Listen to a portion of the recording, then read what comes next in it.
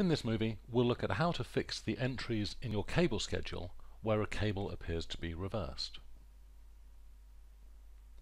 In this simple drawing, we have four cables, each of which connects from an amplifier to a loudspeaker.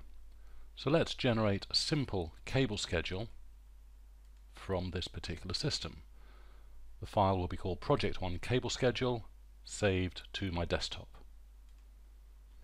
So now let's open up the cable schedule. It opens in Excel and we can see that there are four rows, one for each of the cables. Three of them are correctly going from the amplifier to the loudspeaker, but the fourth one is reversed and it's going from the loudspeaker to the amplifier. Well, let's see how the original drawing was created, why this has happened, and how we can correct it. So, to create these cables, we use the cable tool and drag from left to right to set those interconnections, except for the last one, which has been drawn from right to left. This means that the start point of that cable is on the loudspeaker, the end point is on the amplifier.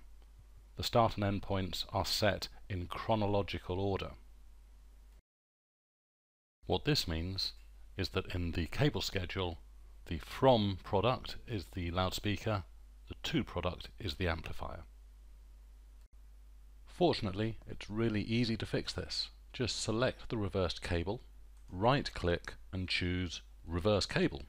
This has the effect of swapping the start and the end points and now when we export a new cable schedule, let's call it project 2